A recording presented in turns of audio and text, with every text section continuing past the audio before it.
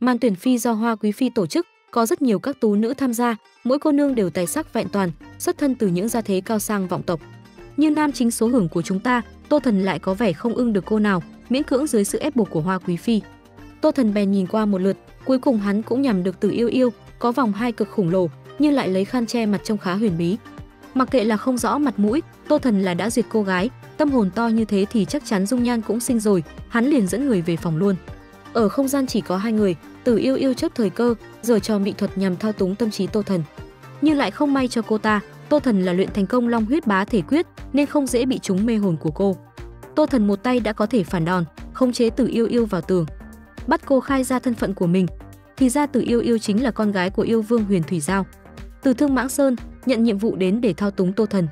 Tô Thần chỉ mất tầm khoảng chừng là vài phút đã nghĩ được cách thuần phục Tử Yêu Yêu, thì ra cô chính là Phục Hắc Thủy Huyền Xà. Sau khi bị thuần phục, từ Yêu Yêu cũng tiết lộ cô bị yêu vương cho uống thuốc độc, mỗi tháng phải trở về giải độc một lần không sẽ mất mạng.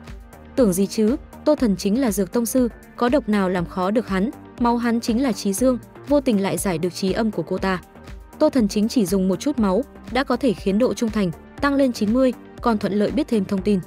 Có kẻ đứng đằng sau, chỉ đạo Thương Mãng Sơn theo dõi năm nước lớn của Nam Cảnh, nếu Tô Thần đoán không sai, đó chính là người của Thánh Thiên Tông. Tâm sự thì cũng đến đây là đủ rồi, bây giờ Tô Thần là muốn vật lộn với Từ Yêu Yêu một chút, test khả năng của cô ta. Ngay lập tức Tô Thần đẩy mạnh Từ Yêu Yêu lên giường, còn đang chuẩn bị lần mò lâm trận thì ba con vợ hắn đã tìm đến để cùng mài giữ với Tô Thần. Hai bà vợ cả và vợ hai, Sở Yên Nhiên cùng Hồ Cơ bước vào, thấy được cảnh Tô Thần đang chuẩn bị tòm tèm gái. Hai bà vợ tỏ ra tức giận, thì ra Tô Thần không tìm họ mài rũa, hóa ra là có người khác rồi. Mặc kệ Tô Thần hết lời giải thích, hai bà vợ xinh đẹp của Tô Thần định quay lưng rời đi, với kẻ có mới nới cũ như Tô Thần, sau này đừng hòng mà mài rũa với họ nữa. Xem ra Tô Thần đang rơi vào tình huống ngàn cân treo sợi tóc rồi, có gào thét giải thích thế nào cũng đều vô dụng. Tô Thần toi rồi, các nàng ấy thực sự tức giận rồi, sau này đừng hòng đòi sơ muối tí gì nữa nhá. Bóng dáng Sở Yên Nhiên và Hồ Cơ đang sắp ra ngoài cửa, Từ Yêu Yêu từ trên giường bật dậy, gọi tên hai người với giọng thật đanh thép, khiến Tô Thần cũng phải sợ cô vợ nhỏ dám chọc giận hai bà cả. Lại dám gọi hai nàng ta là tiểu hồ ly, Sở Yên Nhiên và Hồ Cơ tức giận quay lại, nhìn Từ Yêu Yêu bằng ánh mắt như muốn phát lửa. Nhưng họ chờ giật mình, khi nhận ra đó chính là Từ Yêu Yêu, họ đều là từ Thương Mãng Sơn đến, nên quen nhau cũng là lẽ tất nhiên rồi. Không chỉ quen nhau thôi đâu, trước kia ở Thương Mãng Sơn, khi hai tiểu hồ ly nhìn thấy Từ Yêu Yêu, thở đốc cũng không dám, chỉ là Từ Yêu Yêu không ngờ, bọn họ cũng chạy đến đây bên cạnh Tô Thần. Tô Thần được phen hú hồn, nếu họ đã quen nhau thì tốt quá rồi, đỡ phải ghen tị đụng độ nhau. Sở Yên Nhiên luôn cứng miệng đanh đá, nhưng gặp Từ Yêu Yêu cũng phải rén ngang, Từ Yên Yên chỉ cần quát một tiếng, Sở Yên Nhiên đã sợ sệt khúm núm lại rồi. Cô vợ Từ Yêu Yêu này, đứng phía trên ra lệnh, từ này hãy gọi cô ta bằng tên, còn gọi Tô Thần là đại nhân, không được không biết thân phận, tôn tư trật tự. Tô Thần tự nhiên lại rước được một cô vơ, như quản thúc được mấy bà kia, xem ra còn uy nghiêm hơn cả Tô Thần rồi. Để cắt ngang bầu không khí căng thẳng này, Tô Thần lên tiếng cứu cánh Sở Yên Nhiên, đều là người quen cả. Sau này cứ xưng hô tỉ muội cho thân thiết, đối xử tốt với nhau, đợi hắn bình định nam cảnh, sẽ cùng các nàng xông tới Thương Mãng Sơn. Tử Yêu Yêu đoán chắc, việc cô ta trở thành sủng vật của Tô Thần, hiện tại yêu tộc chưa biết. Để mê hoặc bọn họ, Tử Yêu Yêu định trở về Tần Quốc, tiếp tục làm quốc sư để tranh thủ thêm một đoạn thời gian cho Tô Thần. Nghe ý định của Tử Yêu Yêu muốn trở về, vừa hay Tô Thần cũng muốn với Tần Quốc làm chút việc, nếu thế hai người họ cùng đi. Một chút việc của Tô Thần là gì, ai cũng biết, chắc chắn là đến để lấy nốt một công pháp bí truyền của hoàng tộc Tần Quốc. Chuyển cảnh đến hoàng cung Tần Quốc, tiếng người trong điện phát ra thật dữ tợn, thì ra đó chính là thái tử Tần Quốc, Tần Đức. Hắn là chuẩn bị một bàn tiệc sẵn, chỉ chờ Lâm Nguyệt Nhu để nhằm có được thân thể của nàng ta. Thì ra tên này là có ý với Lâm Nguyệt Nhu, nhưng bị nàng ấy cự tuyệt nhiều lần, đâm ra sinh lòng tham muốn, muốn dở ý đồ đen tối, chiếm đoạt cơ thể của nàng. Nói một hồi, Lâm Nguyệt Nhu cũng đã tới trước của, tên Tần Đức liền thay đổi thái độ, dặn dò không ai được vào làm phiền hắn. Lâm Nguyệt Nhu bước vào xinh đẹp lung linh, đúng là khiến Tần Đức chưa uống đã muốn say rồi, Tần Đức liền cầm ly rượu để mời gọi nàng. Nhưng nếu đến chỉ để uống rượu thì Lâm Nguyệt Nhu không thể nghe lệnh, nàng ta lấy lý do còn có việc, muốn lùi về trước. Lâm Nguyệt Nhu vừa vội quay lưng bước đi, đã bị thái tử Tần Đức vội gọi lại, có việc gấp muốn trao đổi. Nàng cũng đành nể mặt mà đứng lại nghe, Tần Đức thành thật nói, muốn cùng Lâm Nguyệt Nhu trao đổi về kế sách đối phó Tô Thần. Dù gì Lâm Nguyệt Nhu cũng từng gặp Tô Thần, sẽ hiểu rõ con người và sức mạnh của Tô Thần. Tần Đức là đang bịa một vấn đề để cố giữ Lâm Nguyệt Nhu ở lại bên hắn. Nói đến Tô Thần, Lâm Nguyệt như là gương mặt phấn khích, còn khen ngợi Tô Thần hết lời. Nào là Tô Thần là một thiên tài nhưng khiêm tốn, có thực lực mà không tự phụ, có khuyết điểm nhưng không trốn tránh, phẩm hạnh cao khiết, chi hướng cao xa, Lâm Nguyệt Nhu rất thích, lại cũng rất muốn thưởng thức Tô Thần. Tần Đức nghe thấy người mình thích, lại ca ngợi kẻ địch của Tần Quốc như thế, không điên máu lên mới lạ. Kẻ địch thì đã sao? Tần Đức là đang hỏi cách nhìn của Lâm Nguyệt Nhu, thì nàng chỉ nói thật mà thôi. Nếu nàng đã nói thật như thế, Tần Đức cũng muốn nghe, trong lòng Lâm Nguyệt Nhu, Tô Thần so với hắn sẽ như thế nào. Lâm Nguyệt Nhu chỉ nói một câu, một người trên trời, một người dưới đất.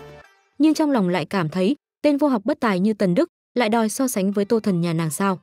Tần Đức dường như nghe không hiểu Lâm Nguyệt Nhu nói, lại cười sảng khoái, tự coi bản thân là người trời, Tô Thần cũng chỉ là một tên phản tặc âm mưu làm loạn à thôi. Lâm Nguyệt Nhu chẳng dám nói, sợ lại làm Tần Đức quê chữ A kéo dài, nhưng trong lòng nàng tự hiểu, ai trời ai đất cũng không biết, kẻ ngu xuẩn như Tần Đức lại có thể làm thái tử Tần Quốc, Tần Quốc quả thật là vận số sắp hết rồi.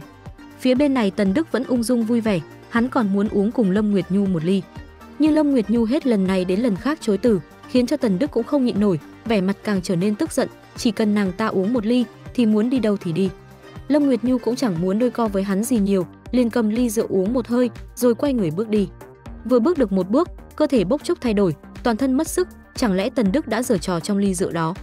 Tần Đức sắc mặt thỏa mãn, nào dám hạ độc Lâm Nguyệt Nhu, chỉ là cho thêm một chút thuốc, khiến cho con người động tình mà thôi. Tên này đúng là cầm thú, lại dám dùng kế hãm hại con gái nhà lành. Mặc kệ lời đe dọa của Lâm Nguyệt Nhu, Tần Đức ung dung nói, nếu phụ thần nàng có ý mưu phản, là việc của phụ hoàng hắn cần lo. Tần Đức mới không thèm quan tâm, chỉ cần hắn có được Lâm Nguyệt Nhu thì trời sập xuống hắn cũng chống đỡ được thôi. Tần Đức biến thái, tiến lại gần xé y phục của Lâm Nguyệt Nhu, nàng ta chỉ biết bất lực kêu tên Tô Thần. Đúng là đúng người đúng thời điểm, một bàn chân đạp tung cánh cửa, Tô Thần cùng Từ Yêu Yêu xông vào, lại dám động vào nữ nhân của Tô Thần, Tô Thần một đấm khiến Tần Đức méo mặt, máu mũi máu mồm thi nhau chảy ra. Tô Thần đang định đỡ Lâm Nguyệt Nhu dậy thì phát hiện nàng đã bị bỏ thuốc. Tô Thần lửa giận phừng phừng, lại dám giở trò với vợ bé của hắn, coi như Tần Đức là tới số rồi, Tô Thần chẳng đợi gì thêm, một chiêu cho Tần Đức đang xuất khỏi thế giới miệng luôn. Xem ra việc đến nước này, không thể để Từ Yêu Yêu tiếp tục làm quốc sư Tần Quốc được nữa rồi. Tô Thần khẽ bế Lâm Nguyệt Nhu lên, rồi đưa đi, trước khi đi còn không quên nhắc Từ Yêu Yêu, giết hết những người trong hoàng thất Tần Quốc. Tô Thần là đưa Lâm Nguyệt Nhu trở về phòng, trị thương cho nàng, dùng nội lực đẩy độc ra khỏi người cô ấy. Nhưng Lâm Nguyệt Nhu khi tỉnh lại, lại vẫn tỏ ra khó chịu, ôm chầm lấy Tô Thần đòi thỏa mãn. Tô Thần ngơ ra không biết như nào, theo lý mà nói thì thuốc phải hết tác dụng rồi chứ. Tô Thần nghiện nhưng còn ngại, tỏ vẻ thanh cao chính trực, không chiếm tiện nghi nhân lúc người khác gặp nạn. Miệng thì nói vậy, nhưng vẻ mặt Tô Thần thì sướng đỏ mắt, máu mũi cũng phun ra như mưa. Đang khó xử thì còn được Lâm Nguyệt Nhu tạo cơ hội, Tô Thần sao nỡ khoanh tay đứng nhìn mỹ nữ khổ sở được chớ, vì giải độc cứu người mà hy sinh chút trong trắng cũng được. Vội lao máu mũi, lao tới đè Lâm Nguyệt Nhu lên giường. Lâm Nguyệt Nhu thực ra không hề còn dính độc, chỉ là muốn lợi dụng cách này để được như ý nguyện cùng Tô Thần vật lộn một chút. Đúng là Tô Thần tốn trăm phương ngàn kế, diễn vẻ chính trực trước mặt cô nương nhà người ta. Cũng không bằng Lâm Nguyệt Nhu, biết tận dụng thời cơ, làm nên cơm nên cháo. Chỉ sau 7749 hiệp lăn lộn trên giường, Tô Thần cũng đã xong, vẫn lấy danh nghĩa giải độc cho Lâm Nguyệt Nhu. Chỉ là Tô Thần thắc mắc, loại thuốc gì mà có thể thần kỳ đến vậy, khiến Lâm Nguyệt Nhu tình nguyện phối hợp cùng hắn. Kết thúc video ngày hôm nay, để xem phần tiếp theo thì bạn hãy bấm vào kênh Triệu Gia, chọn danh sách phát để xem tập mới nha. Đừng quên đăng ký kênh để đón chờ nhiều video review hay sắp tới. Xin cảm ơn và hẹn gặp lại.